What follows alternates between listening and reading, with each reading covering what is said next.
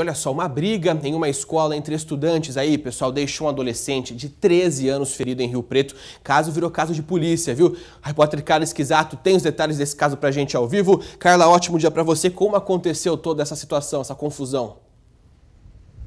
Oi, Casagrande, bom dia a você, bom dia a todos. O adolescente foi agredido por uma colega quando saía da aula na escola estadual Aureliano Mendonça, no bairro Cidade Nova, aqui em São José do Rio Preto. A mãe desse menino registrou um boletim de ocorrência e informou que a agressora seria uma menina de 15 anos de idade que, por nenhum motivo, teria batido no filho dela. Nós temos umas fotos, então, que mostram os ferimentos que ficaram no rosto e também nos ombros deste menino. Ainda segundo o boletim de ocorrência, a mãe do jovem ligou para os pais da menina ainda na porta da escola e foi ameaçada, segundo ela. O caso foi registrado como ameaça e lesão corporal.